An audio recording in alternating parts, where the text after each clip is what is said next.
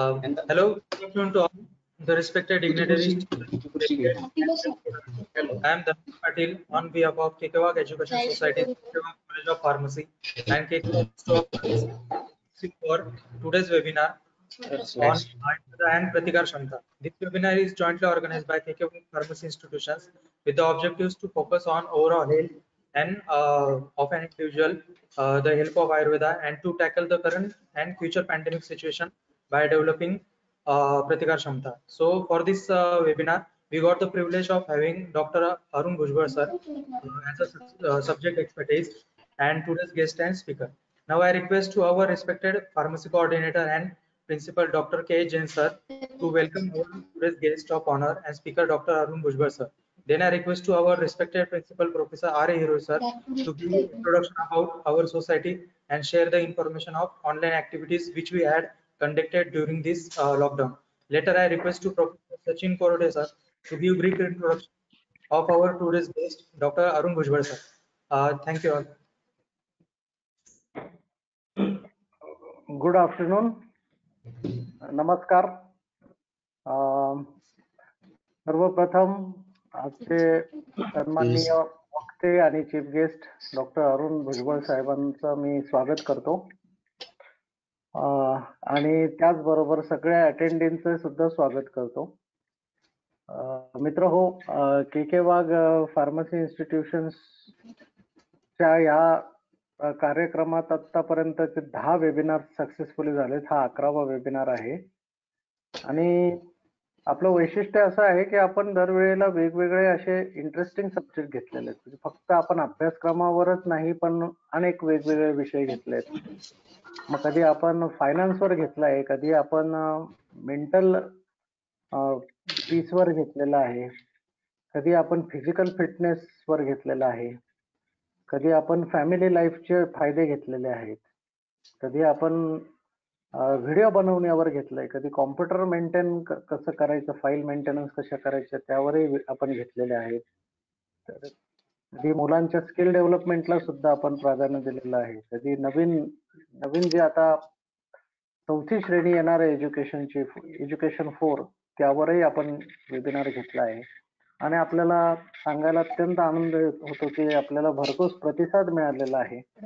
आणि एक वेगळाच ठसा उमटलेला आहे. लोक उत्सुकतेने वाट बघतात आणि आपला सदैव प्रयत्न असतो. आणि आमची सगळी टीम सदैव प्रयत्नशील असते. की प्रत्येक सेमिनार कसा यशस्वी होईल? याचप्रमाणे आता अख्ख्या जगाचा सगळ्यात ज्वलंत जो प्रश्न आहे आणि तो म्हणजे करोना किंवा कोविड नाईन्टीन या विषयाला हाताळण्यासाठी आपण आजचा वेबिनार आयोजित केलेला आहे. मित्र हो आता हा दुसरा जो दौर सुरू झालेला आहे करोनाचा हा एक्सपोनेन्शियल स्प्रेडिंग सुरू झालेला आहे आता. भारताची करोनाची करोनाग्रस्तची संख्या जवळजवळ आता पाच लाख दहा हजाराच्या वर गेलेली आहे. आणि जागतिक संख्या एक करोडला पोहोचायला लागलेली आहे. आणि मला वाटतं दोन तीन दिवसात भारताचा क्रमांक रशियालाही क्रॉस करून आपण तिसऱ्या क्रमांकाला येऊ. तर परिस्थिती इतकी अं, सामान्य नसून आता गंभीर आणि गंभीर होत चाललेली आहे. अर्थव्यवस्था सगळे सामाजिक व्यवस्था राहणीमान आपलं शारीरिक आणि मेंटल शांतता आणि सुदृढता हे सगळेच याच्यात सगळ्यांवर याचा परिणाम झालेला आहे. आणि मित्र जसं आपण बघता आहात की जगात शंभर दीडशेहून अधिक अ, वेगवेगळ्या कंपन्या आणि त्यांच्या प्रयोगशाळा अनेक देशातल्या प्रयत्नशील आहेत. त्याच्यावर लस शोधण्यासाठी म्हणा की औषध शोधण्यासाठी म्हणा किंवा काही अँटीबॉडी शोधण्यासाठी म्हणा. पण म्हणावं तसं यश आलेलं नाही कारण हा जो विषाणू आहे हा सारखाच बदलत असतो म्युटेशन करत असतो. आणि त्यामुळे तो असा स्थिर राहत नाही. त्याचप्रमाणे आता आपल्या वातावरणात याचे आठ नऊ वेगवेगळे व्हेरियंट्स फिरत आहेत. त्यामुळे आपल्याला सांगता येत नाही की एखाद्याला बाधा झाली तर ती माइल्ड असेल पण दुसऱ्याला झाली तर ती फार आयसीयू पर्यंत नेणारी असेल. अशा या सगळ्या गोष्टीत फक्त एकच वस्तू आपल्याला वाचवू शकते ती म्हणजे आपली रोग प्रतिकारक शक्ती. तर ह्या दृष्टिकोनातून हा फार महत्त्वाचा विषय आहे की आपली रोग प्रतिकार शक्ती कशी महत्वाची आहे. आणि मित्र हो मित्र असं मानतो की देवाने ज्या प्रत्येक डिझिजेस डिसऑर्डर आजार दिलेले आहेत त्याचं काहीतरी इलाज त्याने आपल्या निसर्गातच ठेवलेला आहे दडवून. आपल्याला फक्त ते शोधायचं आहे. आणि बऱ्याच वेळा जर नीट शोधलं तर ते मिळतं. आणि ह्या मूलभूत सिद्धांतावरच बऱ्याच प्राचीन पद्धती आहे ज्याच्यापैकी एक आयुर्वेद आहे. जे आपल्या जडीबुटी वनस्पतीतूनच संशोधन करून बरेच आपले रामबाण उपाय शोधून काढतं. आणि बऱ्याच वेळा ते अं, फार सिद्ध होतात. आणि ह्याच प्रकारे आयुर्वेद आयुर्वेदाने किंवा आपल्या ट्रेडिशनल मेडिसिनने आपण आपली रोगप्रतिकारक शक्ती कशी वाढवू शकतो आणि स्वतःला कसं वाचवू शकतो? कारण की हा जो विषय आहे करोना हा हलक्याने घेण्यासारखा नाहीये. बऱ्याच वेळा आपण म्हणतो की बऱ्याच लोकांना होऊन जातो कळत नाही. पण जेव्हा आपण स्वतःवर ते ही बित्ते गोष्ट तेव्हा ती फार गंभीर असू शकते. आणि त्याचे फार दुर्गामी परिणाम होऊ शकतात. यामुळे आपल्याला सदैव या बाबतीत संज्ञान असलं पाहिजे की आपण आपली रोगप्रतिकार शक्ती कशी वाढवू शकतो. आणि आजचे वक्ते हे ह्याच्यात आयुर्वेदात पोस्ट ग्रॅज्युएट गोल्ड मेडॅलिस्ट आहेत. आणि ते भयंकर यशस्वी तज्ज्ञ आहेत. तर आज ते आपल्याला यावर बरंच मार्गदर्शन करतील आणि ते मार्गदर्शन मला वाटतं सगळ्यांनाच फारच लाभदायी ठरेल. त्यामुळे आजचा जो वर्ग आहे श्रोते वर्ग तो सगळ्याच स्तरातला आहे. आणि आजचा वेबिनार हा विशेष असा आहे असा आहे की तो सगळ्यांसाठी आहे. त्यामुळे मला वाटतं की आपण सगळ्यांनी याचा लाभ घ्यावा. आणि मी मनपूर्वक हिरोळे सरांचं अभिनंदन करतो आणि धन्यवाद करतो की त्यांनी एक फार सुंदर असा विषयावर वेबिनार आयोजित केला. आणि पुनश्च एकदा डॉक्टर साहेबांना मी धन्यवाद देतो की त्यांनी वेळात वेळ काढून सगळ्यांना मार्गदर्शन करण्यासाठी ते उपस्थित झाले. धन्यवाद.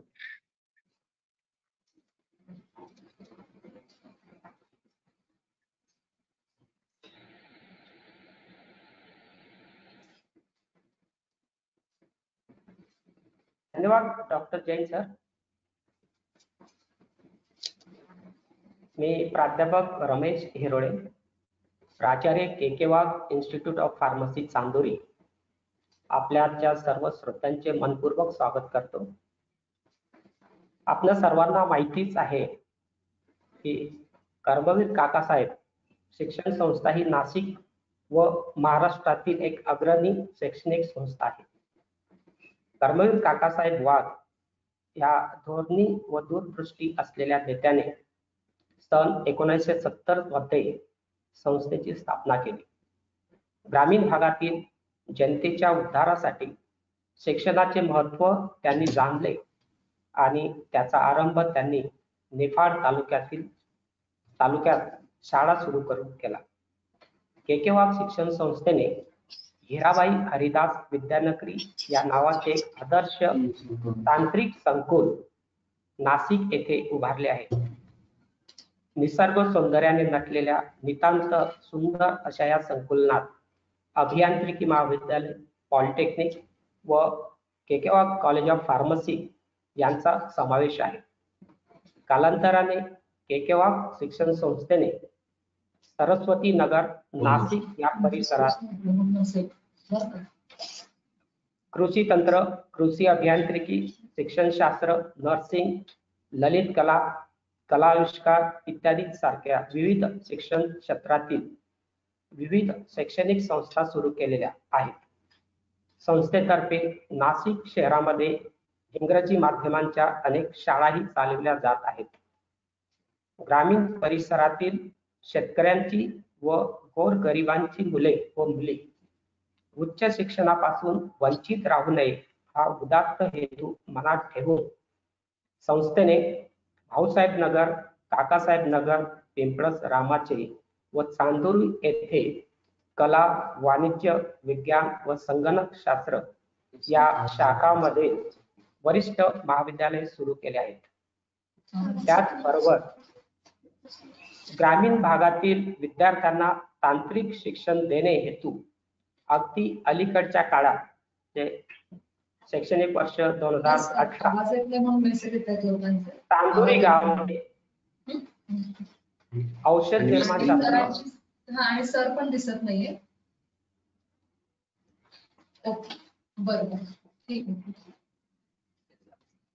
चांदोरी गावामध्ये औषध निर्माण शास्त्र पदविका महाविद्यालय सुरू करण्यात आलेले आहे. हो कर्मवीर काकासाहेब वाघ यांनी लावलेल्या छोट्या रोपट्याचे आज एका विशाल वट वृक्षात रूपांतर झाले असून आज देखील संस्थेच्या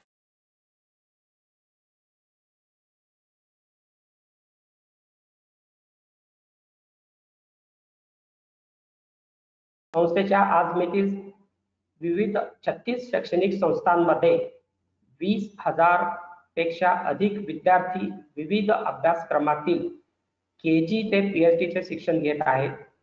सदर संस्थांमध्ये दोन हजारपेक्षा अधिक कर्तव्य तत्पर कर्मचारी केकेवाग शिक्षण संस्था जागतिक दर्जाची बनविणे कामी झटत आहेत. कर्मवीर काकासाहेब वाघ यांच्या एकेकाळी लावलेल्या या छोट्या रोपट्याचे एका विशाल वृक्षात रूपांतर करणारे आमचे प्रेरणास्थान व कर्मवीर काकासाहेब वाघ शिक्षण संस्थेचे अध्यक्ष आदरणीय बाळासाहेब वाघ म्हणजेच आमचे भाऊ यांच्याच प्रेरणेने या लॉकडाऊन काळात समाजासाठी काही उपयुक्त ठरेल असा उदात्त हेतू डोळ्यासमोर ठेवून K K Wagh college of pharmacy Nashik व K K Wagh institute of pharmacy Chandori या दोन महाविद्यालयाच्या संयुक्त विद्यमाने आतापर्यंत विविध अशा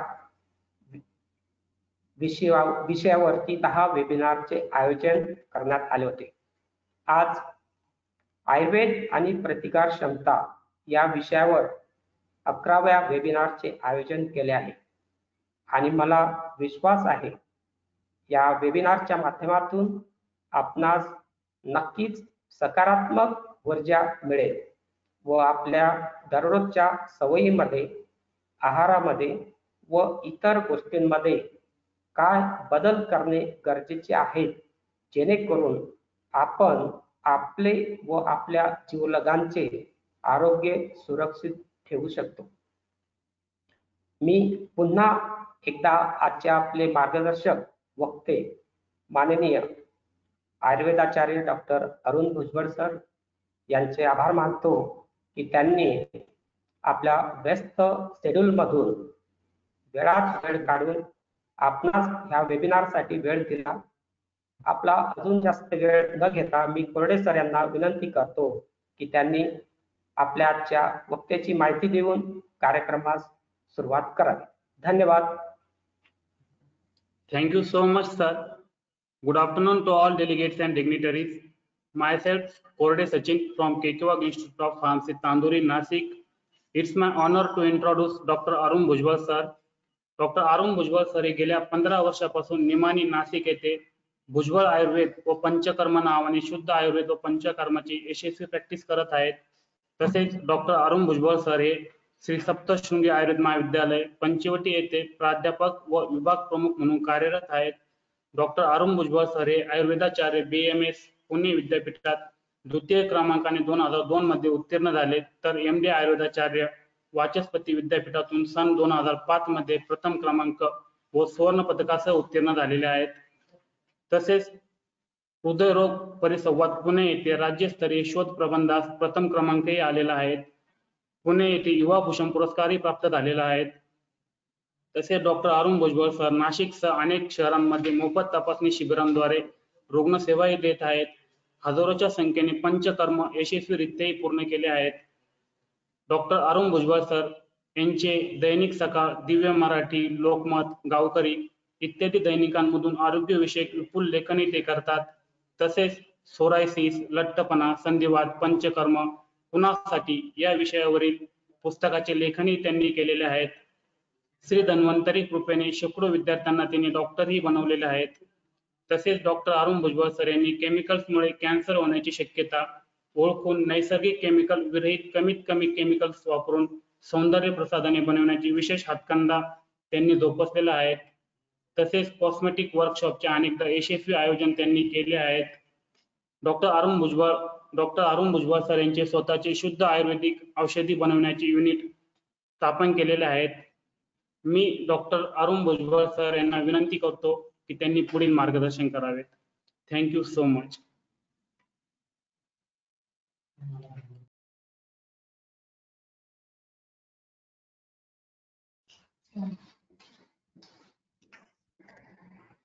धन्यवाद.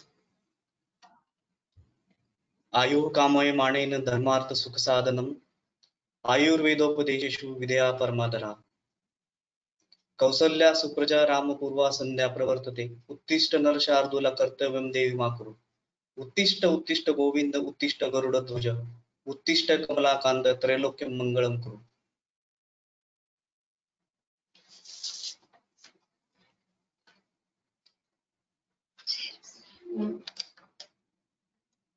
नमस्कार. सर्वांना खूप खूप खूप आयुर्वेदमय शुभेच्छा आणि स्वागत. आयुर्वेदाचं आराध्य दैवत भगवान श्री धन्वंतरी यांना स्मरण करून व्याख्यानाला सुरुवात करतो. कौतुकाचा भार मी माझ्या गुरूंच्या चरणी अर्पण करतो. वाल्मिकी दादा जोशी सर आणि आद्य ग्रंथ चरक संहिता सुश्रुत संहिता आणि वाघबट संहिता यांना स्मरण करतो. सर्वप्रथम आयोजकांचं आणि तसंच आपल्या कॉलेजचे लाडकी प्राचार्य प्रोफेसर.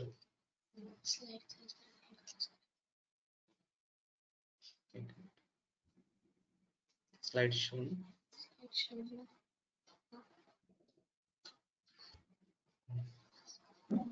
सर्वप्रथम आयोजकांनी तसेच आपल्या कॉलेजचे लाडके प्राचार्य प्रोफेसर स्लाइड दिसत आहेत का सर?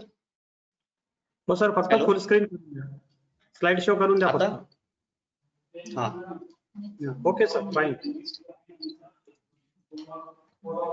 सर्वप्रथम आयोजकांनी तसेच आपल्या कॉलेजचे लाडके प्राचार्य professor always energetic Shri Hirole sir तसेच Jain sir Korde sir Patil sir Jadhav sir यांनी मला जी काही आज बोलण्याची संधी दिली. त्याबद्दल मी खूप खूप धन्यवाद मानतो.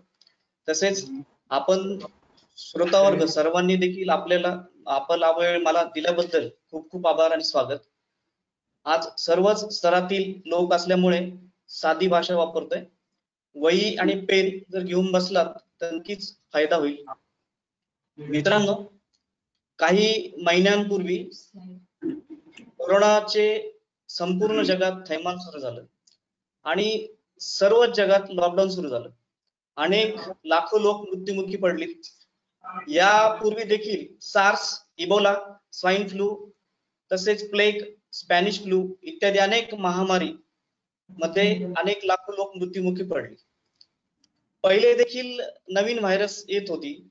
त्याचं प्रमाण अनेक वर्षांनी होतं पण त्याचं प्रमाण खूप कमी होतं.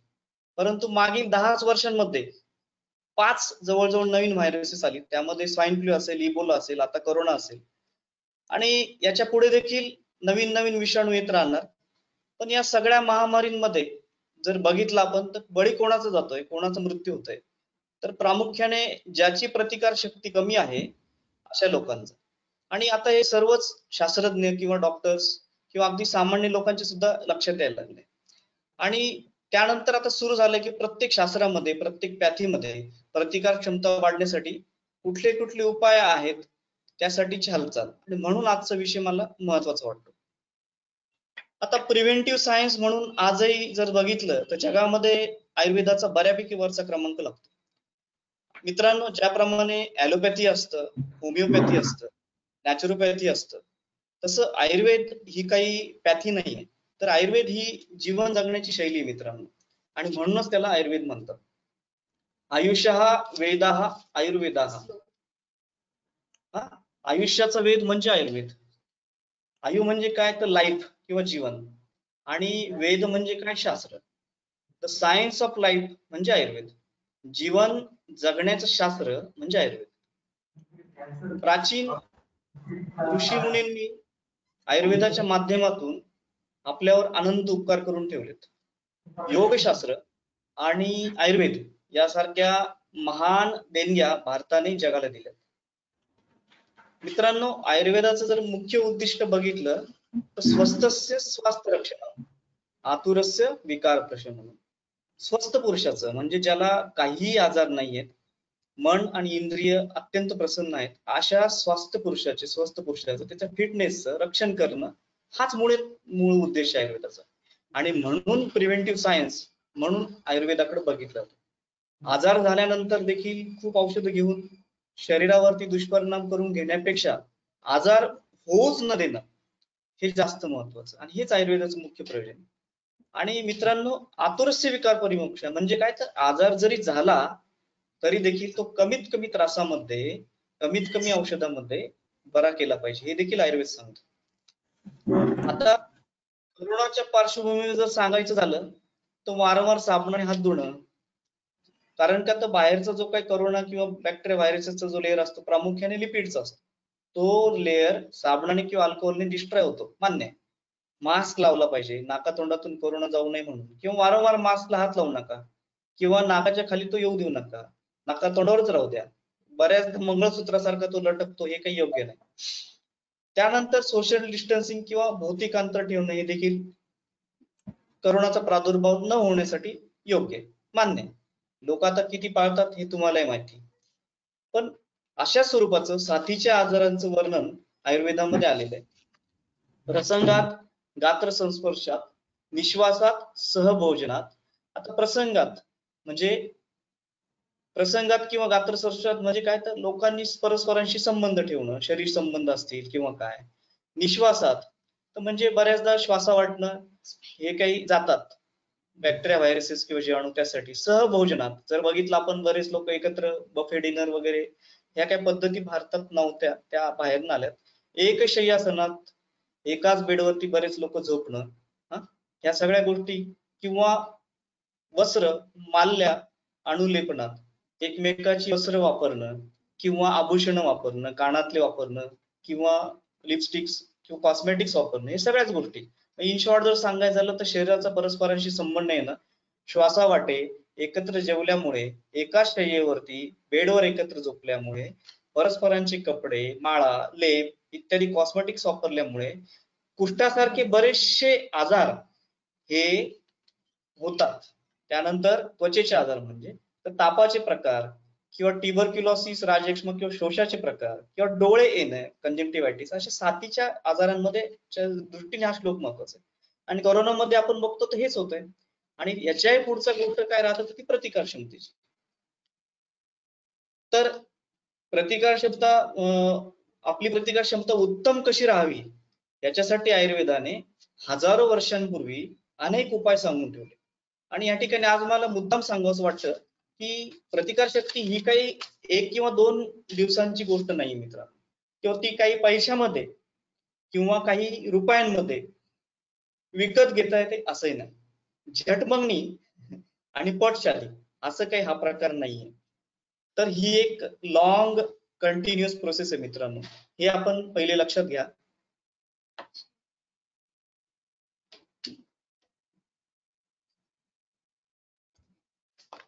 तर त्याला शॉर्टकट नाहीये. काय झालं? त्याला शॉर्टकट नाहीये. तर प्रतिकार शक्ती वाढवण्यासाठी आयुर्वेदाने ज्या काही दिनचर्या सांगितल्या म्हणजे दिवसभरामध्ये काय करायचं काय नाही करायचं ऋतुचर्या म्हणजे ऋतूमध्ये प्रत्येक ऋतूमध्ये कुठली पंचकर्म करायची कुठली नाही करायची किंवा कसं राहायचं याबद्दलचं डिटेल विवेचन. रजस्वला परिचर्या म्हणजे पाळी चालू असताना माता भगिनींनी कुठली काळजी घेतली पाहिजे? यासाठीची गरज. गर्भिणी परिचर्या म्हणजे गर्भावस्था असताना किंवा आईच्या बाळा पोटामध्ये बाळ असताना कुठली काळजी घेतली पाहिजे? सदृत्त पंचकर्म रसायन सण आणि परंपरा सुवर्ण प्राशन अशा अनेक गोष्टी अंगीकारल्या तर नक्कीच फायदा होतो. यामध्ये जर बघितलं तर आहार आणि विहाराला नक्की खूप महत्त्व दिलंय.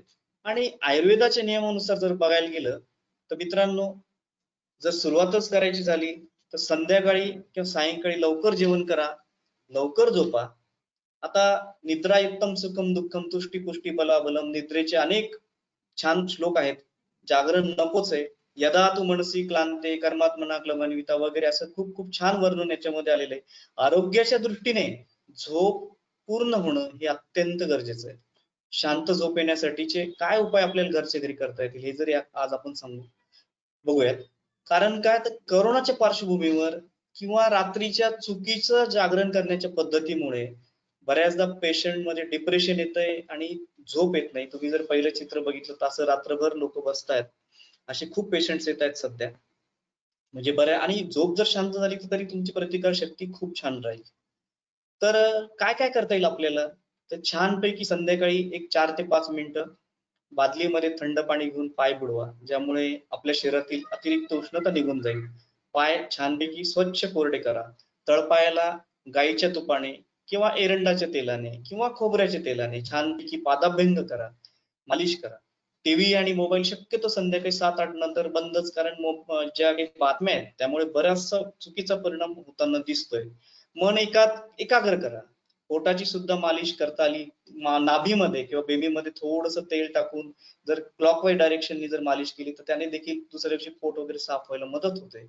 एखाद्या देवाचा हा सगळ्यात हुकमी का हा सगळ्यात खूप छान फायदा होतो. एखाद्या देवाचा जप किंवा नामस्मरण किंवा मंत्र शंभर अठ्ठ्याण्णव नव्याण्णव अशा उलट्या क्रमाने आकडे मोजून जर केलं उदाहरणार्थ कसं एक उदाहरणार्थ श्रीराम जय राम जय जय राम शंभर.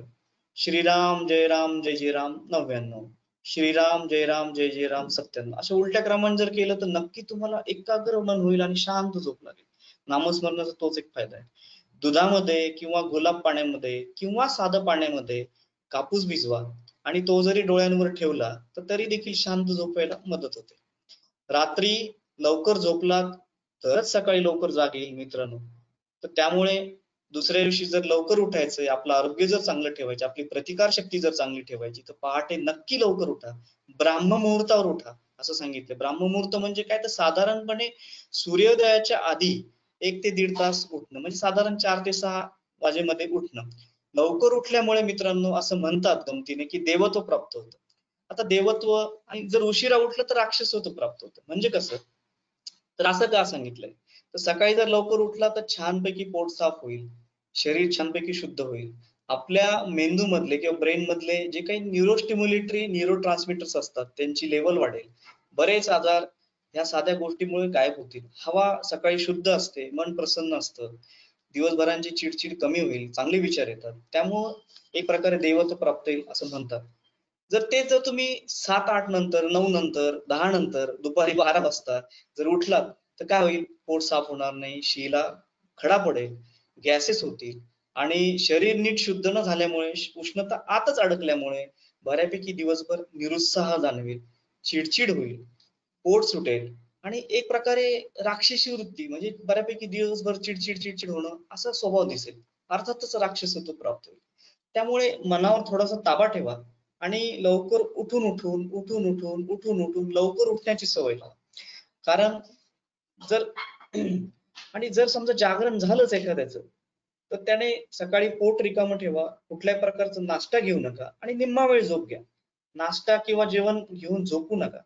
तर पण हा अपवाद आहे आणि अपवाद हा नियम झाला नाही पाहिजे. त्यानंतर दुपारी किंवा सकाळी अजिबात झोपू नका.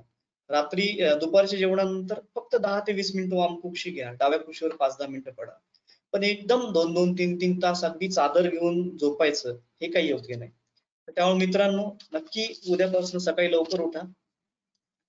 त्यानंतर जर सकाळी उठल्यानंतर तर पहिला कार्यक्रम काय? तर उठल्यानंतर बरोबर शीला आणि शिवला गेलं पाहिजे. उठल्या बरोबर तुम्ही ज्यावेळेस आडवे असतात असं उभं राहिल्या झाल्या सहा ते आठ मिनिटाच्या आत तुमचं पोट खळखळून साफ झालं पाहिजे. शी कशी झाली पाहिजे? तर सोललेल्या केळाप्रमाणे. आता जर तुम्ही म्हणाल की एवढं वर्णन का करताय? अरे खाताना जर तुमचं एवढं लक्ष आहे तर जाताना नको का लक्ष त्याचं? तर एक असं म्हटलं जातं योगी भोगी आणि रोगी अशी एक थोडक्यात छोटीशी स्टोरी तुम्हाला माहिती असेल की एकदाच स्त्रीला जो जातो तो योगी. कारण ते जनरली योगी लोक जे असतात ते एकदाच जेवण करतात. त्यानंतर भोगी म्हणजे आपल्यासारखे लोक. साधारणपणे दोन वेळेस जेवण करतात तेव्हा आपण दोनदा शिला गेलं हरकत नाही. आणि रोगी म्हणजे काय? तर जे लोक दोनदा तीनदा तीनदा चारदा पाचदा सहादा जातात हे लोक रोगी समजावे. आता बऱ्याचदा आम्ही पेशंटला विचारतो की शीला किती वेळ जातो ते म्हणतात काही नाही त्याचा प्रॉब्लेम नाही आम्हाला. आम्ही छानपैकी चार पाच वेळ जातो. हे योग्य नाही. याला पेशंट ह्या पेशंटला डॉक्टरला किंवा आयुर्वेदिक डॉक्टरला दाखवायची नक्की गरज आहे. तर नाही आणि अजून एक गोष्ट अशी की बऱ्याचदा शी करणारे लोक मी आता जे सांगितलं सहा ते आठ मिनिटात शी झाली पाहिजे. बऱ्याचदा शी करणारे लोक अर्धा अर्धा एक एक तास टॉयलेटमध्येच बसतात. कोणी पेपर वाचत बसतं कोणी मोबाईलवर बसतं हे काही योग्य नाही की झोपा काढतात आता हेही कळत नाही. तर त्यामुळे हे योग्य नाही एकाग्र चित्ताने शी झाली पाहिजे असं आहे. तर याबद्दल थोडक्यात एवढंच सांगेन की हे सुद्धा गोष्ट महत्वाची आहे. जर पोट साफ नसेल तर त्या सुद्धा तुमचं प्रतिकार शक्ती कमी होणार. त्यानंतर पुढचा विषय येतो तो म्हणजे दात घासण्याचा. तर आयुर्वेदाने प्रत्येक गोष्ट अत्यंत डिटेल आणि फार सुंदर सांगितली दात घासताना आयुर्वेद म्हणतो की कडू तुरट किंवा तिखट चवीची दंतमंजन वापरावी नाहीतर आज आपण रोज टूथपेस्ट आता तिथं प्रश्नचिन्ह म्हणून लिहिलं केलंय मी की हे टूथपेस्टमध्ये गोड वगैरे जे करतात गोड चवीची क्लोजअप असेल कोलगेट असेल जे काय असतील तर ते योग्य नाही कारण आयुर्वेद म्हणतो की बऱ्याच वनस्पती जर बघितल्या इव्हन दंत धावनामधल्या जर वनस्पती बघितल्या कडू आणि तुरट चवीच्या आहेत. आणि तसंच आयुर्वेदामध्ये बाकीचे सुद्धा वर्णन केलेले औषधं म्हणून ज्या काही दिव्य वनस्पती त्या सुद्धा बऱ्याचदा कडू आणि तुरट चवीच्या आणि आपल्या पूर्वजांना म्हणजे आयुर्वेदिक जे आचार्य होते ऋषीमुनी होते त्यांना कल्पना होती की आपली जी पुढी म्हणजे पिढी म्हणजे तुम्ही आम्ही हे लोक काहीही खाणार आहेत. म्हणजे गोड खातील आंबट खातील खारट खातील हिरवी मिरचीचा ठेचा चटण्या लोणचं papad fast food junk food म्हणजे आपलं पोट म्हणजे एक प्रकारे कचऱ्याचा डब्बाच करून टाकलाय काय.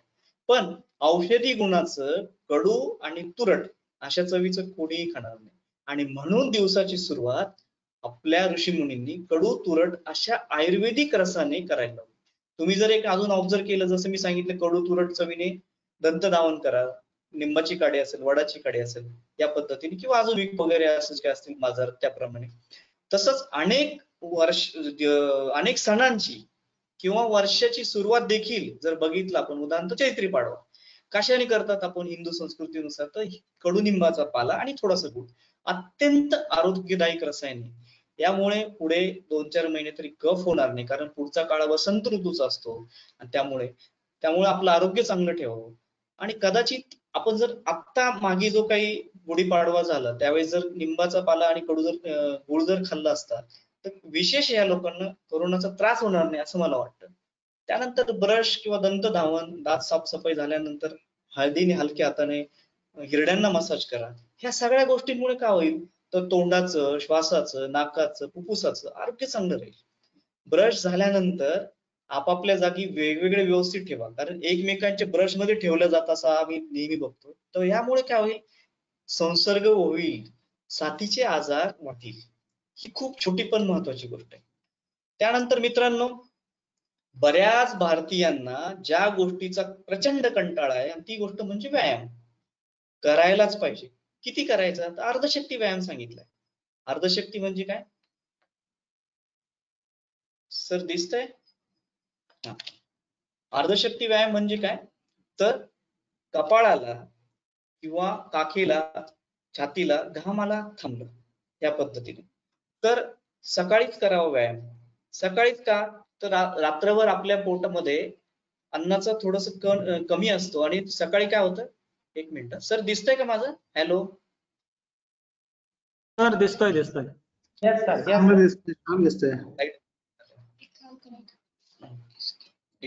हा ओके. तर त्यामुळे अर्धशक्ती व्यायाम म्हणजे काय? तर अगदी खूप विगरसली एक्सरसाइज करणं असं अपेक्षित नाहीये. तर मी आता सांगितल्याप्रमाणे कपाळाला किंवा काखेला घाम आलं थांबलं पाहिजे. त्यानंतर सकाळीच व्यायाम करायचा. सकाळीच का तर आपल्या रक्तामध्ये सकाळी जर बघितलं तर रक्तातली जी शुगर आहे साखर आहे ती कमी असते. आणि शरीर काय करतं? नंतर व्यायाम करण्याच्या नादामध्ये जी काही एनर्जी मिळवायची असते त्या नादामध्ये रक्तातली साखर कमी करतं. रक्तातले जे काही टॉक्सिन्स असतील शरीरातले जे टॉक्सिन्स असतील ते कमी करतं.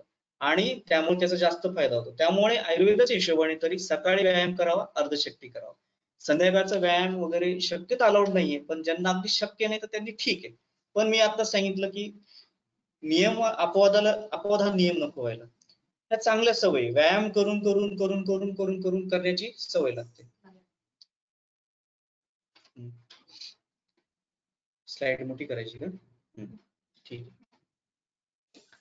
तर वाईट सवय मात्र म्हणजे चांगल्या सवयी करायला आपल्याला थोडा मुद्दाम प्रयत्न करावा लागतो आणि वाईट सवयी जे असतात जसं की उशिरा उठणं व्यायाम न करणं दुपारी झोपा काढणं व्यसनाधीनता हे आपोआप लागतं.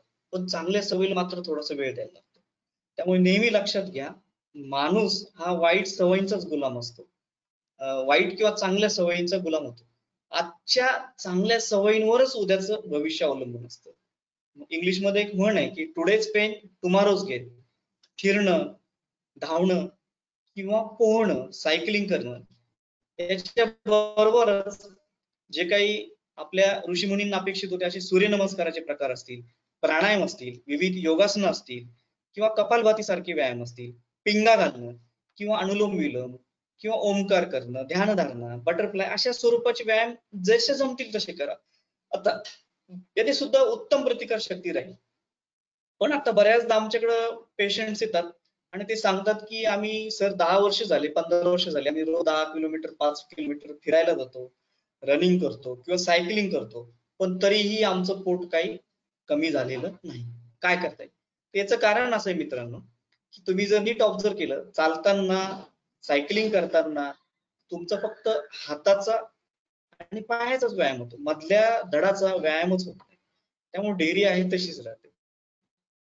जर तुम्हाला खरोखर डेअरी कमी करायची असेल पोटाचा घेर कमी करायचा असेल तर जरूर तुम्ही लोटांगण घाला. गडागडा लोळा एखाद्या ड्रमला जर लात मारली जसा तो घरंगळत जातो अशा पद्धतीने जर लोळला तर त्याचा चांगला फायदा होतो. छोट्याशा रूममध्ये जरी तुम्ही लोळा तरी चालतंय.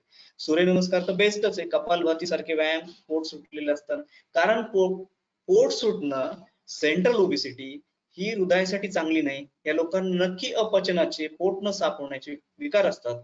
यांची सुद्धा प्रतिकार शक्ती नक्की कमी असते. त्यामुळे पोटाचा घेर नक्की कमी करण्याचे मागे उद्यापासूनच लागले संपूर्ण जगानं शारीरिक आणि मानसिक स्थैर्यासाठी योगशास्त्र स्वीकारले पण भारतात अजूनही त्याची उदासीनता दिसून येते. व्यायाम हा स्थैर्य करावा व्यायाम व्यायामामुळे स्थिरता येते. स्थिरता कुठली तर शरीराची पण येते आणि मनाची पण येते.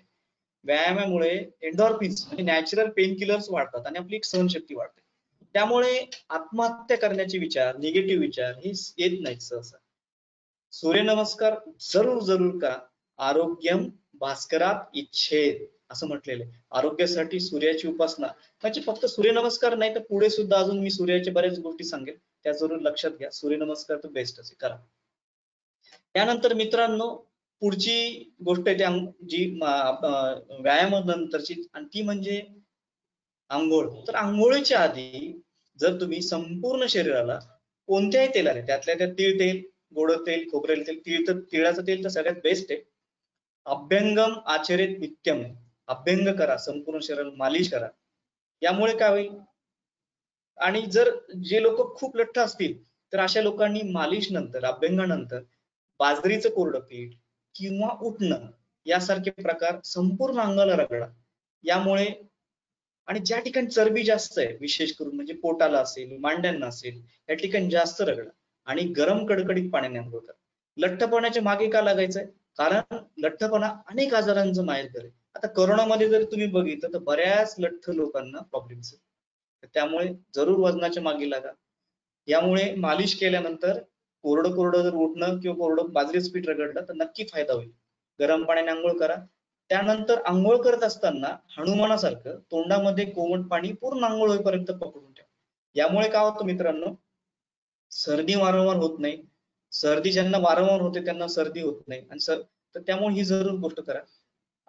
लठ्ठपणाबद्दल थोडक्यात परत एकदा थोडं सांगतो. स्तौल्यमे वरम कारशेम नाही स्तौल्यशी वैशिष्ट्य म्हणजे काय? तर कृषी व्यक्ती उलट परवडला पण लठ्ठ नाही. त्यामुळे वजनाच्या मागे जरूर लागेल बऱ्याच लोकांना असं वाटतं की आपण हेल्दी आहोत. हाईट इन सेंटीमीटर मायनस शंभर. एखादीची हाईट जर सेंटीमीटरमध्ये समजा एकशे साठ आहे वजा शंभर साधारण त्याचं वजन साठ किलोच्या आसपास पाहिजे. अठ्ठावन्न किलो बासष्ट किलो या दरम्यान. खूप जास्त वजन नको. आता हे मालिश आणि ह्या गोष्टींमुळे काय होतं? तर त्वचा त्वचा हा आपल्या शरीराचा सगळ्यात मोठा अवयव आहे. सगळ्यात मोठा अवयव. या सगळ्यात मोठ्या अवयवाची प्रतिकार शक्ती चांगली राहते. आपल्या शरीराची कांती सुधारते रंग उजाळतो आणि अजून एक मित्रांनो जर तुम्हाला तुमची कांती म्हणजे रंग उजाळायचा असेल ज्याचा एखाद्याचा रंग थोडा काळा आहे काळवंडलेला आहे अशा लोकांना रंग जर उजळायचा असेल तर अशा लोकांनी जरूर पंचामृत म्हणजे दूध दही तूप मध पिठी साखर परत एकदा सांगतो पंचामृत जे आहेत दूध दही तूप मध आणि पिठी साखर याने चेहऱ्याला फेशियल करा. संपूर्ण शरीराला लावा. याने नक्की तुमचा फेअरनेस चांगला राहील रंग उजाळेल रंग गोरा होईल.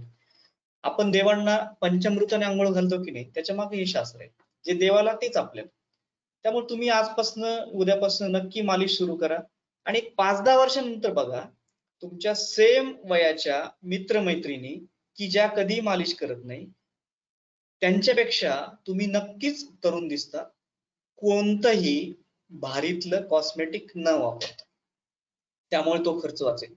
आणि असं होईल की तुम्हारी त्वचा से तुम्हारी उम्र का पता ही न चलता ही जी काही ऍड आहे त्या पद्धतीने तुमचं होऊ शकतं. तर पंचामृत मालिश वाफ मालिश झालं या गोष्टी नक्की फायद्याच्या आहेत. आता मालिशमुळे ज्ञानेंद्रिय कर्मेंद्रिय मेंदू याची शक्ती वाढते. सर्दी खोकला होत नाही झोप शांत होते नाकामध्ये जरूर दोन दोन थेंब गाईचं तूप किंवा खोबऱ्याचं तेल सोडा. आता तुम्ही म्हणाल की मालिशमुळे अकरा ज्ञानेंद्रिय आणि मेंदू यांची शक्ती कशी वाढते भाऊ? त्याचं उत्तर मला एम्ब्रिओलॉजी शिकत असताना शिकवत असताना मिळालं की गर्भाची उत्पत्ती जी आहे ते तीन लेयर्स असतात. एक्टोडोम एंडोडोम मेझो तीन स्तरापासून होते थोडक्यात. तर बाहेरचा जो स्तर आहे त्वचा त्या स्तरापासून त्वचा तयार होते. त्या स्तरापासून मेंदू पण तयार होतो. त्या स्तरापासून आपले पाचही ज्ञानेंद्रिय तयार होतात. म्हणून बाहेर मालिश केली की तिथपर्यंत ते पोहोचतं. पण एक दिवस दोन दिवस करू नये त्याला थोडं सातत्य लागतं. पादाभंग पायाला मालिश केली तर डोळ्याचं नजर चांगली राहते. असं सुद्धा आयुर्वेदात वर्णन आहे. त्यामुळे ज्यांना खूप जास्त नंबर त्यांनी जरूर पायाला भंग करा. त्यानंतर मित्रांनो पुढचं आहे. छानपैकी तुमचं आंघोळ झाली. त्यानंतर आंघोळीनंतर मन शांतीसाठी तुम्ही देवघर किंवा तुमच्या घरामध्ये ज्या ठिकाणी पवित्र ठिकाण असेल अशा ठिकाणी दहा ते वीस मिनिटं जरूर जरूर बसा. ओमकार किंवा मेडिटेशन किंवा विपश्यना यापैकी जे करता येईल ते जरूर करा ज्याची तुम्हाला जास्त आवड आहे. आणि खरं सांगू का मेडिटेशन किंवा मन शांत करण्याची आता इथून पुढे जगाला प्रचंड गरज लागणार आहे. मन शांत याने होतच पण शिवाय यामध्ये एक सायंटिफिक व्ह्यू सुद्धा आहे. यावेळेस तुम्ही ज्यावेळेस शांत बसतात एकाग्र मन करतात. मनात कोणतेही विचार येऊ देत नाहीत. चांगले नाही वाईट पण नाही किंवा नामस्मरण करतात.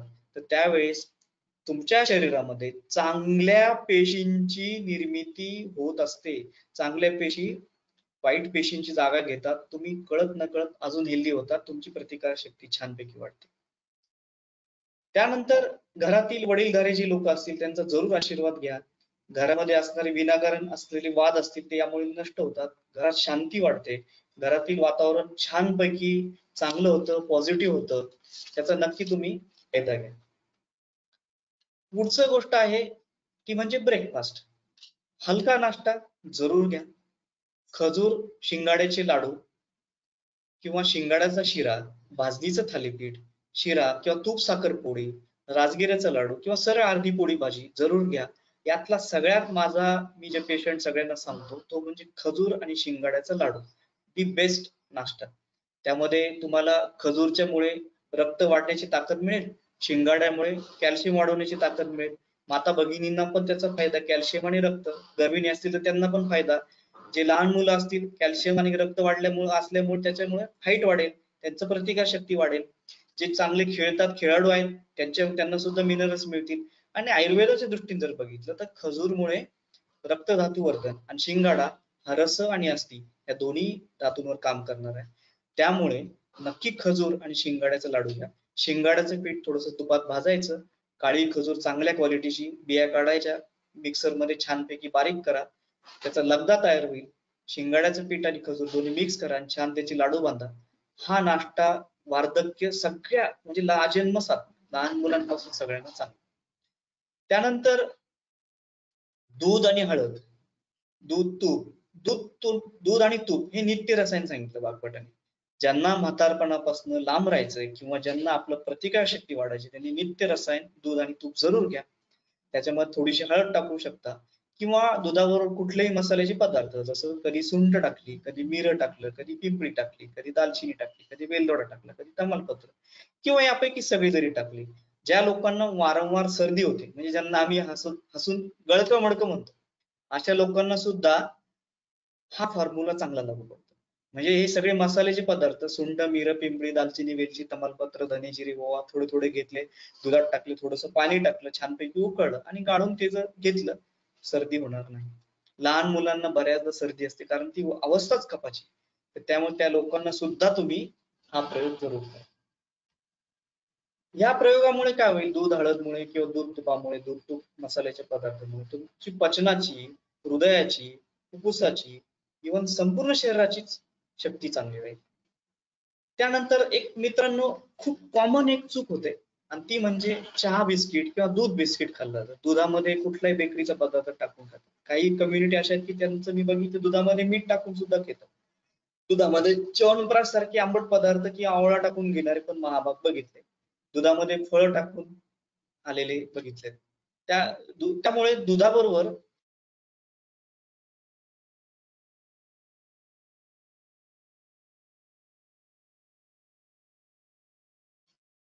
कधीही तुम्ही बिस्किट वगैरे घेऊ नका दुधाबरोबर आंबट पदार्थ घेऊ नका. तर त्यामुळे तर हॅलो. हॅलो. हा, आवाज ओके ओके दूध आणि बिस्किट कृपा येतोय? Okay okay okay okay okay दूध आणि बिस्किट कृपा करून घेऊ नका. किंवा दूध आणि बेकरीचे पदार्थ कृपा करून घेऊ नका. आंबट पदार्थ दूध आणि फळं घेऊ नका. कारण हे विरुद्ध अन्न आहे ह्या विरुद्ध अन्नामुळे प्रतिकार शक्ती तर कमी होतेच. पण अगदी त्वचा रोगापासून हृदय रोगापर्यंत. बरेच आजार होतात. आणि बिस्किटाला तर आमचे नाना गुरु नाना जे होते म्हणजे आहेत पीटी जोशी धुळ्याचे. ते बऱ्याचदा गमतीने म्हणतात देव तारी त्याला बिस्किट मारी. म्हणजे एखादा माणूस आजारी जरी पडला आणि देवाने जरी वाचवला आणि तो बिस्किट आज खात असेल तर तो मरणार पुढे. कारण पुढे त्रास होणार. तर कारण का बिस्किट हे शेवटी शिळा पदार्थ आहे त्यामध्ये शेवटी मैदा आहे. त्यामुळे शिळे पदार्थ नका हे शिळे पदार्थमध्ये बेकरी वगैरे सगळं चालतं. नंतर मित्रांनो पुढची गोष्ट आहे ते म्हणजे सकाळचा नाश्ता झालाय छानपैकी आणि सकाळचा नाश्ता झाल्याशिवाय कृपा करून घराच्या बाहेर पडायचं नाही. काही ना काहीतरी पोटात टाकलंच पाहिजे. हलकं कणे होत. दुपारचं किंवा मध्यान्हीचं जे काही जेवण आहे त्या जेवणामध्ये व्यवस्थित फळभाज्या भरपूर घ्या. आता तिथं मुद्दा मी प्रश्नचिन्ह केले बऱ्याच जणांचा हा प्रश्न असतो फ्रुटी म्हणजे फळभाज्या घ्यायच्या की पालेभाज्या घ्यायच्या की काय? तर फळभाज्या म्हणजे उदाहरणार्थ ज्याला फळं दिसतात म्हणजे गिलके दोडके भोपळा भेंडी कारलं ढेपस गंगाफळ म्हणजे डांगर हे जरूर जरूर घ्या. पण कृपा करून पालेभाज्या ज्या आहेत मेथी शेपू पालक ह्या कमीत कमी घ्या किंवा नाही घेतल्या तरी चालतील. कारण ह्या पालेभाज्या ज्या आहेत ह्या जमिनीपासून खूप जवळ असतात. त्यामुळे त्यांच्यावरती खूप सारे कीटक बुरशी जंतू इत्यादी असतात. त्याच्यात घाण असते. त्यामुळं त्या आणि जर तुम्ही जर बघितलं एक ऑब्झर्वेशन केलं शेजार एखाद्या समजा भोपळा ठेवला आणि इकडे थोडी मेथी ठेवली आणि एक दोन तीन दिवसांनी जर बघितलं तर भोपळा आहे तसंच आहे. म्हणजे इट गिव्ह स्टॅमिना फळभाजी. पण पालेभाजी जर बघितली एवढी सडते की तिच्याकडे बघावं सुद्धा वाटत नाही. तर त्यामुळे आणि शिवाय पालेभाज्यामुळे पोट बिघडवतात. पालेभाज्या ज्या आहेत त्या पोट सुद्धा बिघडतात जर तुम्ही जर सकाळ दुपार संध्याकाळ जर पालेभाजी खाल्ली मेथी खाल्ली तर नक्की तुम्हाला हमखास गॅसेस होतील पोट बिघडेल पोट साफ होणार नाही अम्लपित्त ऍसिडिटी असे खूप सारे विकार होतात. आणि जे जर वाईट आहेत ते कशाला खातात? जे त्रास देतात तर ते कमीच घ्या किंवा घेऊच नका. म्हणून आयुर्वेद म्हणतं की पालेभाज्या कमी किंवा खाऊच नका. अशाक भूक हित भूक मीत भूक अशाक भूक असं सांगितलं. अशाक भूक म्हणजे पालेभाज्या खाऊ नका असं आयुर्वेद वारंवार सांगतो. पण तरी खाण्याची इच्छा असेल तर खूप कमी प्रमाणात आठवड्यातनं पंधरा दिवसात एखाद्या दिवशी. चांगल्या शिजवून मिठाच्या पाण्यामध्ये भिजवून चांगल्या तेलामध्ये फ्राय करून मग खाल्ल्या तर ठीक आहे. त्यानंतर व्यायाम करणाऱ्यांनी थोडीफार कडधान्य खायला हरकत नाही. पण नुसतं प्रत्येक जण उठतोय आणि मोड आलेली मूग किंवा कडधान्य हे खूप खातो असं योग्य नाही. ज्याचं व्यायाम खूप आहे त्याची पचनशक्ती चांगली आहे या लोकांनी हरकत नाही. पण सतत खाल्लं तर नक्की त्रास होईल. तुम्ही ते परत ऑब्झर्व करा. की जर समजा तुम्ही सकाळ दुपार संध्याकाळ मटकी म्हणा मूग म्हणा असं जर किंवा मोडलेला हरभरा म्हणा छोले म्हणा असं जर सकाळ दुपार संध्याकाळ जर खाल्लं तर नक्की पोट खराब होईल. कारण आणि मॉडर्न जरी सांगत असलं याच्यात प्रोटीन आहे पण जर तुम्ही नीट हॅरिसन आणि चरक असं दोन्ही जर एकाच वेळेस जर वाचलं छानपैकी तर त्यावेळेस आयुर्वेद खूप छान कळतो. कारण की प्रोटीन्स आहे मान्य आहे ह्या डाळींमध्ये पण ह्या प्रोटीन्समध्ये जर बेसिक युनिट जर बघितलं अमायनो ऍसिड्स आणि अमायनो ऍसिड चेंज ब्रेक करायला खूप जास्त ताकद आपल्या एन्झाईम्स लागते. म्हणून पचनशक्ती किंवा जो व्यायाम करतो अशा लोकांनी कडधान्य खायला हरकत पण खूप प्रमाणात नका खाऊ त्रास झाला थोडस थांबायचं अशा पद्धती पुढचं आहे की आपल्या आसपास जे पिकतं ते आपल्यासाठी चांगलं असतं. निसर्ग तशी रचना करून ठेवत असतो. त्यामुळे महाराष्ट्रात आपण राहतोय परत तुम्हाला प्रश्नचिन्ह पडेल की तांदूळ मूग बाजरी ज्वारी काय खायचं? तर जास्तीत जास्त आम्ही पेशंटला सल्ला देतो तांदूळ आणि गहू खाण्यापेक्षा आपल्या इथं जे पिकतं ज्वारी नागली बाजरी त्यातल्या ते ज्वारी नागली हे जास्त प्रमाणात खाल्लं तरी चालेल. कारण आणि तांदूळ आणि गहू वापरायचाच झाला तर तो चांगला भाजून आणि मग तो खा. कारण तो पचायला जरा जड पडतो दोन्ही तांदूळ हे जर बघितलं तर कोकणातलं खाद्य आहे. गहू जर बघितलं हा पंजाबी लोकांचा आणि जेव्हापासून आपण गहू आयात करायला सुरुवात केली त्यानंतर आपण पंजाबी लोकांची दुखणे लावून घेतली खरं सांगायचं असं त्यानंतर सगळ्यात महत्त्वाचा तिसरा जर शब्द बघितला जिंजर आणि गॅगरी तर या ठिकाणी जेवणाच्या आधी आयुर्वेदाने सांगितलं की गुळ आणि आलं किंवा अद्रक म्हणजे आलं आणि सैंदो मीठ. भोजनागरे सदापत्यम लवण अद्रक संयुक्त. तर आलं अर्धा इंच आणि थोडस सैंधव मीठ. हे जर खाल्लं तर खूपच बेस्ट सगळ्यांनी जरी खाल्लं तरी बेस्ट याने पचनशक्ती खूप छान राहते. तोंडाला चव येते आणि कधीही कफ किंवा सर्दी होणार नाही. आत्ताच्या काळात हे घ्यायला लागेल आपल्याला. हा ठीक आहे. थोडं उष्णता वाढली तर थोडस मिठाच्या ऐवजी सैंधव मीठ ज्याला सै- सैंधव म्हणजे काय तर सेंदे लोक हा काळं मीठ नाही किंवा साधं मीठ पण नाही आपलं. एक सैंधव मीठ मिळतं बाजारात. तर ते आणा ते औषधी असतं. ते हृदयाला चांगलंय डोळ्यांना चांगलं जर उष्णता वाटली कधी तर थोडस गुळ आलं खाल्लं तरी हरकत पण जेवणाच्या आधी थोडस अर्धा इंच गुळ आणि आलं जरूर घ्या. किंवा अर्धा इंच आलं आणि सैंदूर जरूर घ्या. कारण का?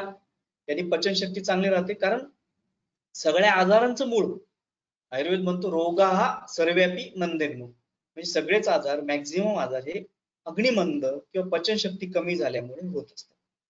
त्यामुळे जरूर जरूर. परत सांगेल की आलं आणि सैंधव जरूर घ्या. हे नित्य रसायनमध्ये घेता येईल किंवा आजचे जे प्रतिकार क्षमता वर्धक याच्यामध्ये घेता येईल. त्यानंतर जेवताना एखादं वाटी ताक किंवा मठ्ठा जे घरी बनवलेलं आहे घरी दही लावून बनवलेलं कंपनीचं नाही. अशा स्वरूपाचं घ्यायला हरकत नाही. असं म्हटलं जाते की देवांचा राजा इंद्र याला देखील हे ताक मिळत नाही. तक्रम शक्रम शक्रस्य दुर्लभम. असा एक श्लोक आहे. म्हणजे देवांच्या राजाला सुद्धा मिळत नाही. असं आहे. एवढं त्याची महती आहे. त्यामुळे ताकामुळे आतड्यांना ताकद मिळते. ते सुद्धा कधीमध्ये पण खूप लोक काय करतात? चांगलं म्हणून एक एक लिटर वगैरे असं अपेक्षित नाही. एखादी वाटी ठीक त्यानंतर मित्रांनो पुढचा माझा आवडता विषय किंवा ज्याच्यावरती खूप काही बोलता येईल आणि अनेक किंवा बाकीच्या शास्त्रांकडनं थोडासा दुर्लक्षित राहिलेला विषय आणि तो म्हणजे पाणी. शंभर टक्के जपून प्या. उभ्याने पाणी पिऊ नका. दसाडासा पाणी पिऊ नका. नेहमी बसून पाणी प्या. ग्लासला तोंड लावून पाणी प्या. प्रत्येक शब्द महत्त्वाचा उभ्याने प्यायचं नाही बसून प्यायचं डसाडासा प्यायचं नाही. ग्लासला तोंड लावून पाणी प्यायचं. जेवताना मधून मधून पाणी प्यायचंय. लक्षात घ्या. जेवताना मधून मधून म्हणजे चतकोर अर्धी पोळी झाली किंवा भाकरी खाल्ली की मध्ये एक एक घोट असं पाणी घ्यायचं. त्यामुळे तोंडाला चव पण राहते आणि ते मिक्स पण होतं. आपलं जर स्टमकचा आकार जर बघितला तुम्ही एखाद्या मिक्सरच्या भांड्यासारखं आहे. त्यामध्ये जी चर्निंग मुवमेंट आहे जर तुम्ही मध्ये मध्ये पाणी टाकलं तर ते मिक्स होईल चांगलं. आणि त्यामुळे पहिला जो रस आहे आहार रस त्यानंतर मग पुढे रसधातू मग मग रक्त मग मांस मेद अस्थि मज्जा शुक्र हे उत्तरोत्तर. आणि त्यांचे उपधातू देखील हे खूप छान तयार होते. किंवा तुम्ही जर उदाहरण बघितलं नारळाचं दूध काढायचंय. आपण काय करतो नारळ घेतो तुकडे करतो थोडं मध्ये पाणी टाकतो. परत फिरवतो परत थोडं पाणी टाकतो जेणेकरून त्याचं दूध व्यवस्थित निघतं. म्हणजे आहार रस जर नीट काढायचा असेल तर शंभर टक्के जेवताना मध्ये मध्ये पाणी पिलं पाहिजे. त्यानंतर खूप लोकांना म्हणजे एक सवय असते की सकाळी उठल्या उठल्या ते पाणी पितात. तर आयुर्वेदाने एक दोन ठिकाणी मॅक्झिमम ग्रंथामध्ये आयुर्वेदाने आत- उषपान म्हणजे सकाळी पाणी पिणं हे अपेक्षित नाही सकाळी पाणी पिणं हे अपेक्षित नाही सूर्योदयाच्या सूर्योदयाच्या आधी जर उठत असाल तर अर्धा ग्लास कोमट पाणी हरकत नाही. पण खूप लोक अगदी अभिमानाने आमच्याकडे येऊन सांगतात की आम्ही सर दोन दोन तांबे सकाळी पाणी पितो दोन तांबे गरम पाणी पितो किंवा मध पाणी पितो किंवा लिंबू आणि गरम पाणी पितो किंवा मध आणि गरम पाणी पितो कोरफड ज्यूस आवळा ज्यूस अरे हे अत्यंत चुकीचं आहे. कारण का? अग्नी सकाळी कमकुवत असतो आणि तुम्ही जर गरम पाणी जरी घेतलं आणि चुलीत टाकलं किंवा कुठल्याही प्रकारचं पाणी घेतलं? चुलीत टाकलं अग्नीवर टाकलं यज्ञात टाकलं तरी वीज. तर त्यामुळे असं करू नका. सकाळी सूर्योदयाच्या आधी लवकर उठा आणि त्यावेळेस अर्धा ग्लास गरम पाणी ठीक आहे. पण आपलं होतं काय की उशिरा उठतो आणि दोन दोन तांबे पाणी पितो हे अत्यंत चुकीचं. आणि सगळ्यात महत्वाचं मध हा कधीही गरम पाण्याबरोबर किंवा गरम करून घेऊ नका. विष तयार होतं. पुढे आजार लावून घ्या. बरेच लोक मी आता जे बोललो की जेवताना मध्ये पाणी न पिता एकदम शेवटी किंवा अर्धा तासाने जेवणानंतर एक तासाने एक एक दोन दोन तांबे पाणी पितात. हे देखील अत्यंत चुकीचं आहे. श्लोकात आहे हे मी काही मनाचं सांगत नाहीये. भोजनांते वारी विषप्रदम. जेवणाच्या शेवटी पाणी पिणं हे विषासारखं मारक आहे. जेवणाच्या शेवटी एकदम पाणी पिणं हे खरंच विषासारखं मारक आहे. कारण कसं? यज्ञ पेटलाय आपण आहुती टाकली आणि जर समजा शेवटी जर एकदम पाणी टाकलं तर यज्ञ विसतो. तसंच आहे. त्यामुळं एकदम शेवटी न पिता मधून मधून पाणी प्या. तसंच दिवसभरामध्ये कधीही एका वेळेस खूप जास्त पाणी पिऊ नका. म्हणून जुन्या काळी फुलपात्र होते. ग्लास बाटल्या नव्हत्या. आता आजकाल होतं असं की फ्रीज उघडायचं आणि डायरेक्ट पॉट बॉटल काढायची डायरेक्ट तोंडाला लावायची हे घातक आहे. हे पुढे हृदयरोगासाठी किंवा बाकीच्या आजारांसाठी प्रतिकार क्षमता कमी करण्यासाठी सर्दी वगैरे होण्यासाठी अत्यंत घातक. तहान लागेल त्यावेळेस थोडं थोडं पाणी प्या. आणि कोरोना किंवा आता पावसाळा पण आहे शक्यतो कोमट पाणी पिता आलं तर फार चांगलं. पण तरीही एकदम जास्त पाणी नको थोडं. आणि मित्रांनो शरीर म्हणजे काय? फ्लश टँक नाहीये. की वरून पाणी टाकलं आणि वाहून गेलं. त्यामुळं नक्कीच त्याची प्रक्रिया होत असते. त्यामुळे आयुर्वेद असं म्हणत नाही की अगदीच अर्धा लिटर प्या किंवा अगदीच चार पाच लिटर प्या. तर खूप कमी किंवा खूप जास्त असं अपेक्षित नाही. तहान लागेल त्यावेळेस. आता साधारणपणे बुद्धिजीवी वर्ग आहोत आपला विद्यार्थी वर्ग आहे डॉक्टर्स आहेत यांना एक दीड ते दोन लिटर ठीक आहे. पण आता एखादा खोदकाम करणारा माणूस आहे तो नक्कीच तीन चार लिटरही पाणी पिईल पाच लिटर पिईल कारण तो तेवढं गाळून गाळतो तर त्यामुळे तुमचा व्यवसाय काय तुमची प्रकृती काय यानुसार पाण्याचं थोडस तुमच्या आयुर्वेदिक डॉक्टरकडनं नक्की समजा अति सर्वत्र वर्जेत अति तिथे मातीच होते. खूप पाणी पिल्याने त्रास आणि खूप अगदी न पिल्याने त्रास. एक सुंदर आणि सोपा आणि खूप छान फॉर्म्युला सांगतोय. ज्यामुळे खूप आजार इन फ्युचर होणारच नाही असतील तेही जातील. धणे एक ते दोन चमचे जिरे एक ते दोन चमचे सुंठ एक ते दोन चमचे. पाण्यात टाकून साधारण दीड ते दोन लिटर पाणी म्हणजे तीन ते चार तांबे पाण्यामध्ये टाकून उकळायचं खळाखळा फक्त गरम नाही उकळायचं खळाखळा. हा? आणि त्यानंतर ते गाळून दिवसभर जर पिला आणि तुमचे बरेच आजार उगीच माळ वाघ मागे लागल्यासारखं खाल्लं नाही पाहिजे. भोजन किंवा जीवन हे एक पवित्र कार्य आहे. यज्ञकर्म आहे असं समजून देवाचा प्रसाद समजून घेतलं पाहिजे. नेहमी गरम गरम खाण्याचा प्रयत्न करा. बाकीच्या गोष्टी टीव्ही इत्यादीमुळे मनावरती शरीरावरती चुकीचा परिणाम होतो. बऱ्याच बायका शिळ खातात. शिळ अजिबात खाल्लं नाही पाहिजे. इट इज हायली कार्सिनोजेनिक म्हणजे कॅन्सर प्रोड्यूस करणाऱ्यामध्ये सगळ्यात मोठं. त्यामुळे उरेल एवढं जास्त बनवूच नका. कमी प्रमाणात स्वयंपाक करा. अगदी शिळ हे घरकाम करणाऱ्या पाईला देखील नाही दिलं पाहिजे. माता भगिनींची पिरियड्स किंवा पाळी चालू असताना भरपूर विश्रांती घ्या. कारण त्यावेळेस गर्भाशयाला जखमा असतात. जास्त कष्टाची कामे किंवा उड्या मारणं असं काही करू नका. पुढे भयानक प्रॉब्लेम्स येतील. उगीच ऍडमध्ये दाखवलंय म्हणून अशा उड्या मारू नका. चमचमीत तिखट टाळा. स्त्रियांनी सगळ्या स्त्रियांनी काळे मनुके काळी खजूर दूध तूप शिंगाडा डाळिंब ताक या पद्धतीचा आहार नक्की ठेवा. घरातील वातावरण जर जास्तीत जास्त सामंजस्याचं आणि आध्यात्मिक ठेवलं ठेवण्याचा नक्की प्रयत्न करा. वयात येणाऱ्या मुला मुलींना काही महत्त्वाच्या गोष्टी घरच्यांनी शिक्षकांनी समजून सांगितल्या पाहिजे. त्यामुळे निर्भय हत्याकांड कोपर्डे हत्याकांड होणार नाहीत. लहान मुलांना सुवर्ण प्राशन वगैरे द्या. शारीरिक आणि मानसिक छान वाढ होते. सुवर्णप्राशनामुळे लहान मुलांची प्रतिकार शक्ती छान वाढते. व्यसनांपासून दूरच राहा. अगदी चहा तंबाखू बिडी सिगारेट ड्रग्ज या सगळ्यांमुळेच प्रतिकार शक्ती कमी होते. रात्री उशिरापर्यंत मोबाईलवर अश्लील चित्र बघणे साहित्य बघणे हे देखील व्यसनच आहे. मुद्दाम चांगल्या सवयी तयार करा. स्वदेशी वस्तू वापरा. नंतर आयुर्वेदाने सांगितलेली ऋतुचर्या ऋतू आणि पंचकर्म जवळच्या वैद्याकडे नक्की समजून घ्या. चांगल्या खेळत्या हवेमध्ये राहा सूर्यप्रकाशात काम करा. मित्रांनो आयुर्वेदाने जगाला दिलेली सगळ्यात मोठी देणगी म्हणजे पंचकर्म. शरीर शुद्धीचा राजमार्ग म्हणजे पंचकर्म. गाडीची जशी सर्व्हिसिंग करतात त्याप्रमाणे पंचकर्मामध्ये शरीर शुद्धी केली जाते. त्यामुळे क्वालिटी आणि क्वांटिटी आयुष्य वाढतं. एखादा मनुष्य ऐंशी वर्ष जगलाय पण शेवटचे वीस पंचवीस वर्ष जर बेडवरच असेल तर अशा आयुष्याचा काय उपयोग? किंवा अगदी चाळीसी मध्येच कपला तर त्यालाही काही अर्थ नाही. पंचकर्म केल्यानंतर आयुर्वेद रसायनं घेतली पाहिजे. आताच्या करोनाच्या काळामध्ये मधुमेह रुग्णांनी प्रतिकार क्षमता वाढीसाठी हळद आणि आवळा जरूर घ्या. अर्धा अर्धा चमचा दोन वेळेस. करोनाच्या पार्श्वभूमीवर तसेच आता पुढे ऑलरेडी डॉक्टर्स आणि सर्व यंत्रणेवरती ताण आहे हैराण आहेत. त्यात अजून डेंग्यू मलेरिया तापाचे आजार वाढतील. या सगळे आजारांपासून सुटका मिळवायची असेल डासांपासून किंवा विषाणूंपासून बुरशीपासून तर एक हुकमाचा चांगला फायदा करून देणारा चिकित्सा म्हणजे धूपन चिकित्सा किंवा दूर करणं. शेणाची गौरी तूप कापूर हळद कडुनिंबाची पानं जे मिळेल ते जर जाळलं आणि त्याचा दूर केला आणि घरात सर्वत्र फिरवला तर त्या त्यामुळे डासांपासून विषाणूंपासून नक्की बचाव होईल. त्यामुळे आता डेंग्यू सांभाळायचा की मलेरिया सांभाळायचा की कोरोना सांभाळायचा असं पुढे होणार आहे. तसंच आपले जे काही सण सणावळी परंपरा असतील त्याचा देखील मान ठेवला गेला पाहिजे. प्रतिज्ञेत फक्त आपण म्हणतो की माझा देश आणि माझ्या देशातील विविधतेने नटलेल्या परंपरांचा मला काही कोणाची पात्रता अंगी यावी म्हणून प्रयत्न करेल पण या परंपरांमागे देखील आरोग्याचे शास्त्र आहे. जसं मी आता काही वेळापूर्वी चैत्री पाडवा पुढील कडुनिंबाची पानांनी गुळ खायला खाण्यासाठी सांगितलं होतं. त्यामुळे कफ होत नाही आरोग्य चांगलं राहतं. त्याचप्रमाणे आपण एकादशीला उपवास करतो किंवा लंघन करतो. रात्रीचं खायचं नाही दिवसा दुपारी थोडस खायचं.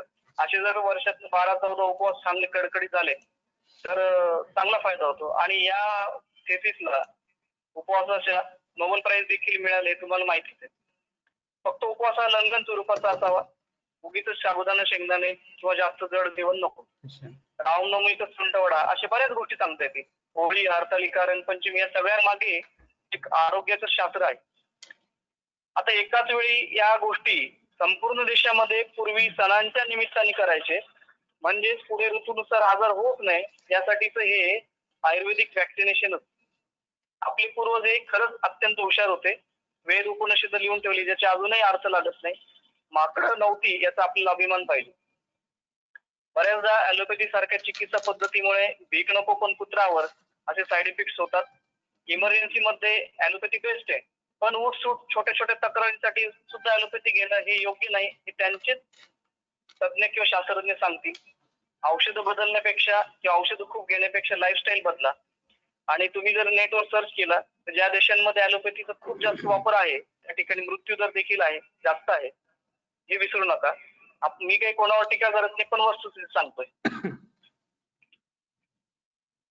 त्यानंतर मित्रांनो आता एवढं आज ही डिटेल सांगण्याचं कारण काय तर गेल्या दहा वर्षामध्ये पाच नवीन व्हायरसेस आली. आणि पुढे देखील नवीन नवीन व्हायरसेस येणार नवीन आजार येणार. हॉस्पिटल्समध्ये बेड नाहीत यंत्रणेवरती खूप ताण आहे. पण घाबरू घाबरून न जाता जर ऐनवेळी प्रतिकार शक्ती वाढवण्यापेक्षा हातपाय हलवण्यापेक्षा ऐनवेळी आजपासून जर आपण आयुर्वेद स्वीकारला योगशास्त्र स्वीकारलं पंचकर्म स्वीकारलं दिनचर्या व्यवस्थित फॉलो केली आहार आहाराचे नियम पाळले तर या साथीच्या आजारांपासून आपण नक्कीच म्हणून तेवढं कमीच आहे. जाता जाता आयुष्य मंत्रालयाने सांगितलेल्या ज्या काही सूचना आहेत त्या तुमच्या पाठच आहेत तरी एकदा उजळणी करतो. पाणी चांगलं उकळून घ्या. फक्त जस्ट गरम करू नका चिंगूसपणा करू नका. चांगलं उकळा. चहाप्रमाणे आणि चहाप्रमाणे फुंकून फुंकून प्या. मग त्याचा चांगला फायदा होतो. तुळस दालचिनी मिरे सुंठ याचा काढा आयुष डिपार्टमेंटने सांगितलाय. त्याच्या जोडीला आम्ही आमच्या अनुभवानुसार अश्वगंधा गुळवेल काळी चिराई ज्येष्ठ मध शतावरी अशा अनेक दिव्य वनस्पती टाकून टॅबलेट बनवून घेतल्यात त्याचाही छान फायदा होतो. गाईचं तूप आणू तेल किंवा खोबऱ्याचं तेल. नाकामध्ये दोन दोन थेंब थोडा किंवा नाकाला लावा. च्यवनप्राश सारखं उत्कृष्ट रसायन दहा दहा ग्रॅम दोन वेळ जरूर घ्या सकाळ संध्याकाळ. फक्त ती दुधावर घेऊ नका कारण च्यवनप्राशामध्ये आवळा आहे. आवळा आणि दूध एकत्र आले की ते विरुद्धांना होतं. संशमनी वटी सारखं दोन दोन वेळा जर गोळ्या घेतल्या तरी चालतील. आणि ह्या सगळे प्रिव्हेंटिव्ह म्हणून आहे. हे काही ट्रीटमेंट नाही. नाहीतर बऱ्याचदा केबिनमध्ये आमच्या लोक येतात आम्ही आर्सेनिक अल्बम खाल्लंय आणि मास्क फेकून देतो असं चालणार नाही. त्यामुळे काय होतं होमिओपॅथी सुद्धा बेस्ट आहे. ती पॅथी बदनाम होते अशा लोकांमुळे. तर प्रिव्हेंटिव्ह येते त्यामुळे मित्रांनो योग्य डाएट योग्य व्यायाम योग्य झोप ब्रह्मचर्याचं योग्य पालन करा. स्वस्थ राहा मस्त राहा. काही अडचण असल्यास nine eight double two double two six two six seven अठ्ठ्याण्णव बावीस बावीस पासष्ट सदुसष्ट या नंबरवर जरूर व्हॉट्सअप करा. वेळ मिळेल त्यावेळेस उत्तर देईल किंवा भुजबळ निमानीला भेट द्या. परत एकदा आपले एनर्जेटिक आणि एन्थुझियास्टिक प्राचार्य आदरणीय Shri Hirole sir Jain sir Patil sir Jadhav sir शिक्षक वृंद सर्व शिक्षकेतर कर्मचारी या सगळ्यांचे धन्यवाद करतो. आणि चांगली टीम असली तरच एखादा चांगला प्रोग्राम होतो. त्यामुळे या सगळ्या टीमचं खूप धन्यवाद. जय Ayurveda. Sir. Okay you so much, sir. बंद sir. Oh, sir,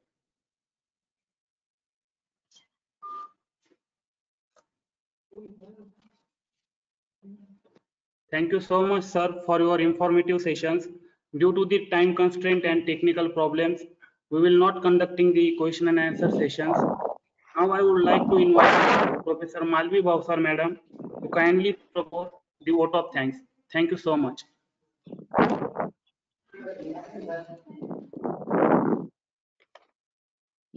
आजच्या सत्रासाठी मला आभार मानण्याची संधी दिल्याबद्दल धन्यवाद सर मी प्राध्यापक Malvi Bhavsar K K Wagh institute of pharmacy आयुर्वेदच्या सहाय्याने आपली प्रतिकार शक्ती कशी वाढवायची हे डॉक्टर भुजबळ सर यांनी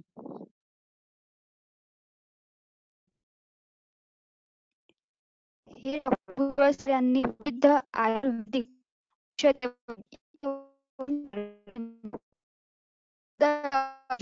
यांचे के के वाघ शिक्षण संस्था के के वाघ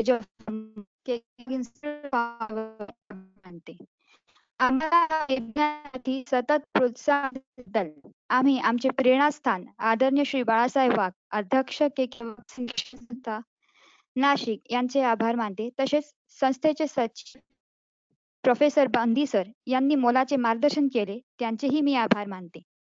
मी फार्मसी समान प्राचार्य डॉक्टर के एस जयसर सर कॉलेज ऑफ फार्मसी यांचे व प्राचार्य आरे ए केकेवाग इन्स्टिट्यूट ऑफ फार्मसी या वेबिनारचे आयोजन करण्यात मोलाचे मार्गदर्शन आणि सहकार्य केल्याबद्दल यांचे आभार मानते. त्यांच्या शिवाय ज्यांच्याशिवाय हा वेबिनार आयोजित करणे शक्य नव्हते त्यांच्या सतत समर्थनासाठी आमच्या तांत्रिक टीमचे मी आभार मानते. मी वेबिनार दरम्यान आमच्या सहभागी नेत्यांचे ऐकणे आणि त्यांचे समर्थन केल्याबद्दल त्यांचे आभार मानते.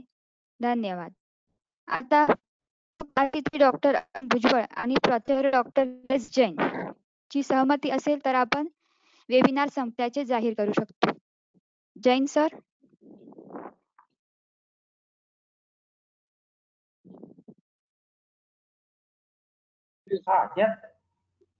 Please proceed.